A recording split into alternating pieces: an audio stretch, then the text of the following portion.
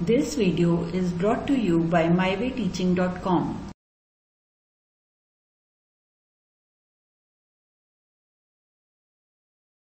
Dear students, today we are going to start our next chapter. The name of the chapter is Motion in a Plane. So, already we studied about the motion in a straight line in the previous chapter. So, in this chapter, we are going to deal with the motion in a plane. And the contents of this unit are introduction. First, we are going to see the introduction part. Then, we are going to study what are scalars and what are vectors. Okay. And then, we'll study equality of vectors. And not only that, we also study multiplication of vectors by real numbers. Okay. Addition and subtraction of vectors by graphical method. Graphical method is one such method which is used for the addition and subtraction of vectors. So we are going to study that particular method in order to add and subtract different vectors. Okay.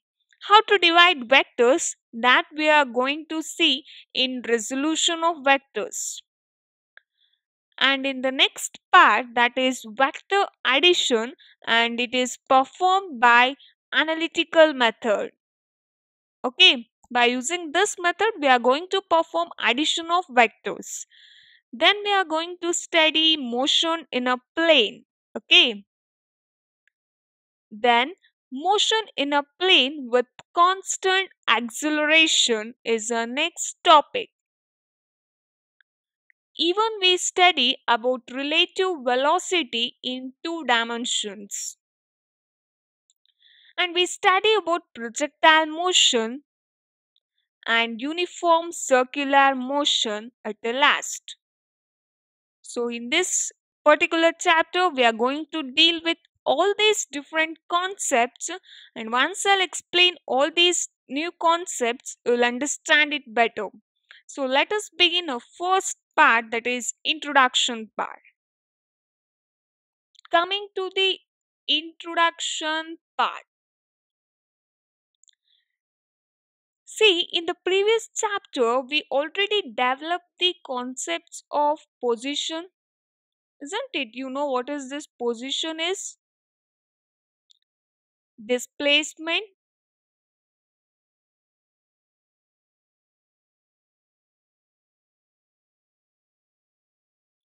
velocity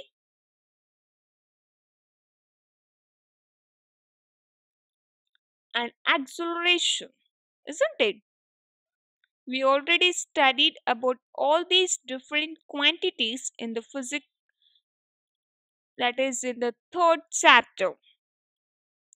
Now all these quantities are required to explain about the motion in a straight line so we found that the directional aspects of these quantities can be taken care of by positive and negative signs. Only these two signs were enough to talk about directional aspects of these different physical quantities in case of motion in a straight line. But in case of motion in a plane, yeah, in order to describe motion of an object in two dimensions that is in a plane or even in three dimensions we need to use vectors okay? Only positive and negative is not enough. We need to use vectors to describe the above mentioned physical quantities. In order to eh, describe all these physical quantities we need to know about vectors in order to explain about motion in plane then what is this vector and how to add, subtract and multiply vectors? What is the result of multiplying a vector by a real number? And all these questions are rising in our mind, isn't it? And we are going to study about all these in this particular chapter. Okay. Uh, as a simple case of motion in a plane, we shall discuss motion with constant acceleration and even will uh, treat in detail the projectile motion. Circular motion is a fami- familiar class of motion that has a special significance in daily life situations, and we are going to deal with it in this particular chapter. So, let us study all these different concepts in this particular chapter. So, the first concept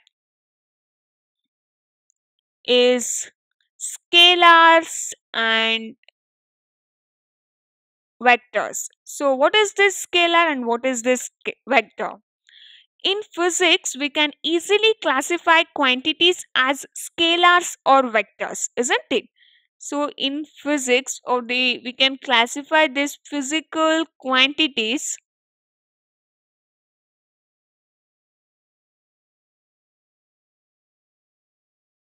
as scalars and vectors.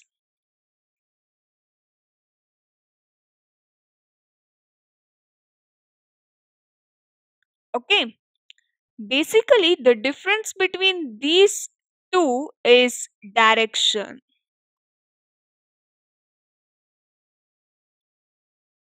Okay.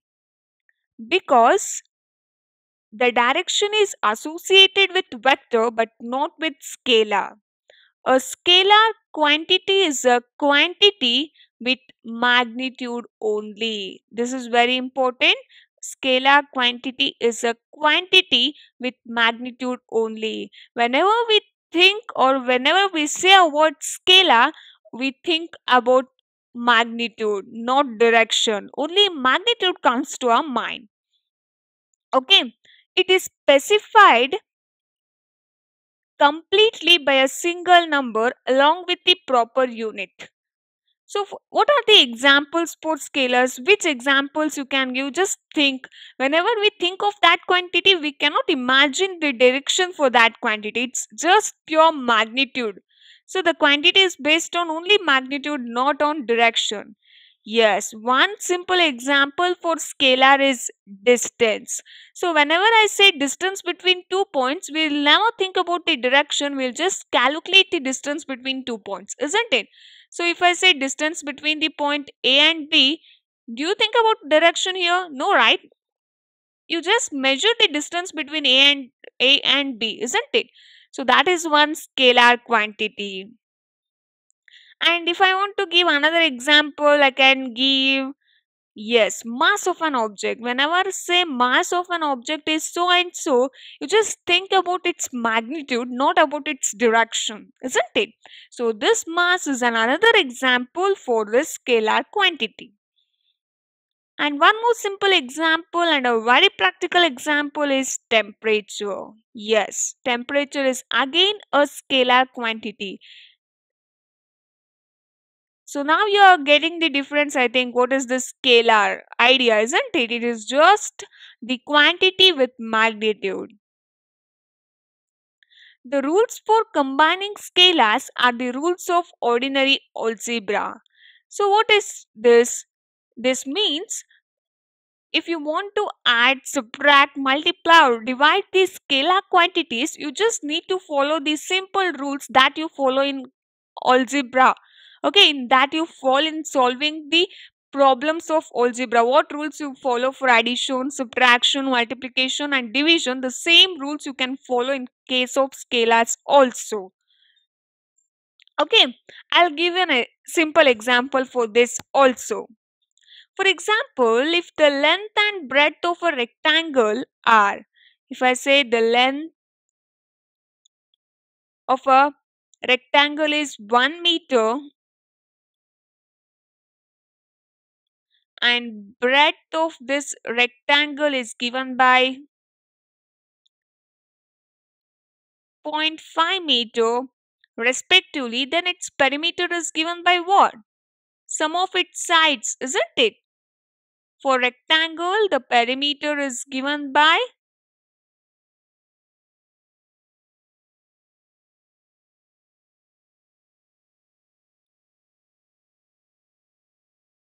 Yes, 2L into 2B. Sum of the lengths of the four sides is nothing but perimeter and the length is given by 1 meter and the breadth is given by how much? It is 0.5. So 2 into 1 is 2 and 2 into 0.5 is 1. So the perimeter is given by yes 3 meters. The length of each side, whatever the length is given, length and breadth, these two are scalar quantities, isn't it?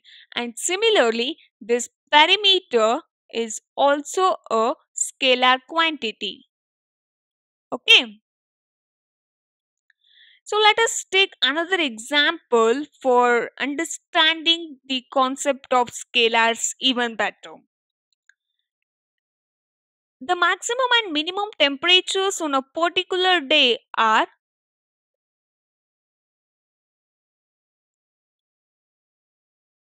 maximum temperature was 35.6 degrees Celsius and minimum temperature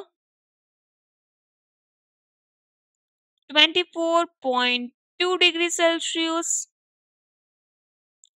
and we need to find the difference between these two temperatures that is the difference between maximum and minimum temperature and that difference is given by 11.4 degrees Celsius, isn't it? Yes. So here this temperature is a scalar quantity and the difference what we got is again a scalar quantity.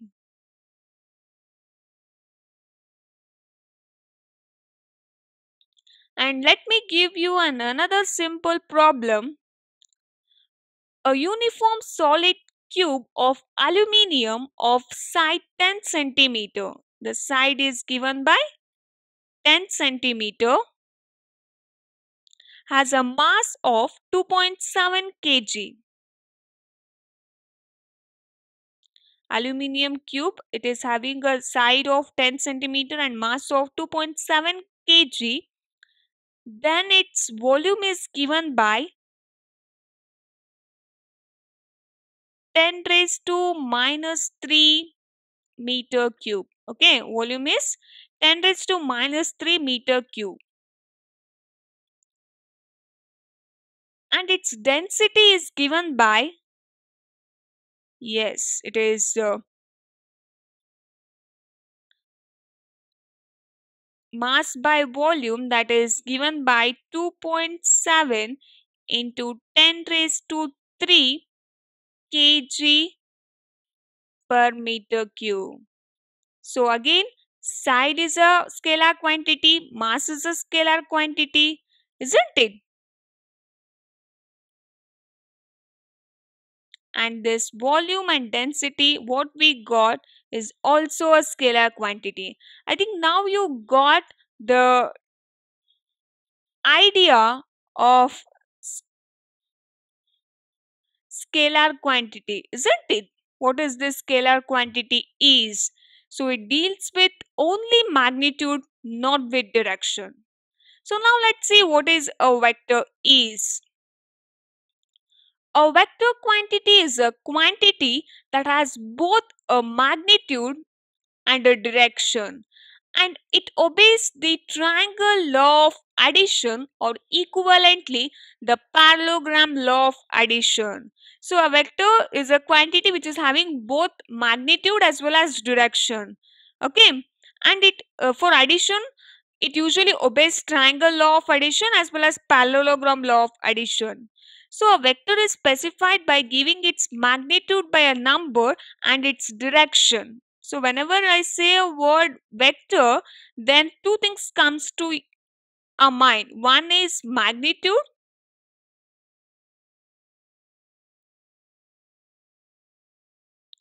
Another one is direction, isn't it? Because it's having both magnitude and direction.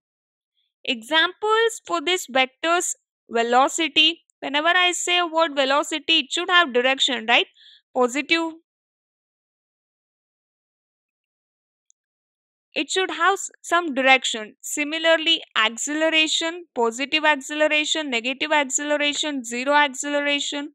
So it is having direction also. And even force the direction of force is very important as well as along with the magnitude of force isn't it? In which direction the force is applied that's also very important. So all these are the examples for vector quantities. So usually vector uh, the velocity vector is represented by v.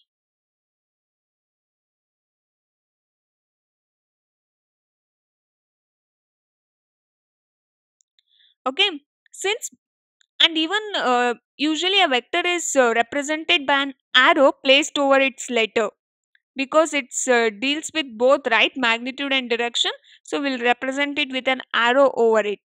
And if you're dealing with only magnitude if you want to say the magnitude of the vector is so the magnitude of a vector is often called its absolute value and we'll e- usually indicate it like this this is absolute value of vector or magnitude of a vector okay. This is a different uh, you know different symbols that we use to represent vector. Usually it is represented with an arrow over it. If you want to represent magnitude then we use this modulus symbol. You got the difference between scalar and vector and examples for scalars and vectors. Okay? Fine. In the next part we are going to study about position and displacement vectors